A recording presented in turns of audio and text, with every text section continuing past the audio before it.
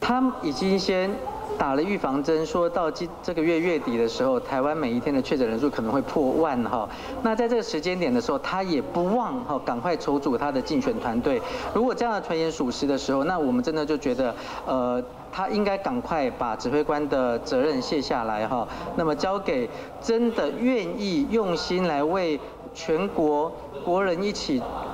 在防疫上面打拼的人去承担这样的一个指挥官的工作，那他想选举，他想当逃兵，防疫的逃兵，那他就赶快去哈。我们也呃祝福他哦，做他想要去做的事情哈。那想选举就赶快去选举哈。那不要就是选举的工作费了一边的心。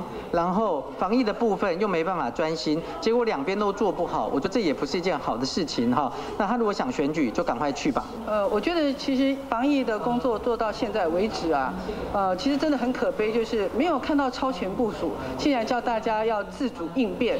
那我不禁要说，其实陈时中部长，呃，他做的最好的超前部署，就是不断的给呃老百姓打预防针，那告诉大家说，我们的这个确诊人数会从一千多、两千多，很快会上万哦。那大家如果上万以后就不用惊慌，这是他唯一做的超前部署的事情。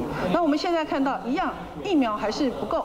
那呃，这个给这五岁到十二岁的孩子所施打的疫苗到现在也没有着落。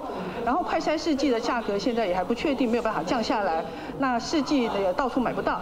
那口服药更不要说了哈，可能还远在这个海上半路上都不一定。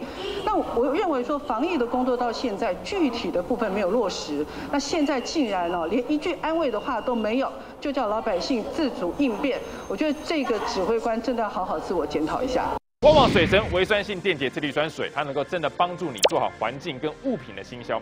那像我们中天呢，全天摄影棚呢都是不停的以水神雾化器来喷这个水神，保持整个空气的安全。那随时喷的话呢，水神随手喷这个部分也非常适合。去哪里买呢？都可以到快点购。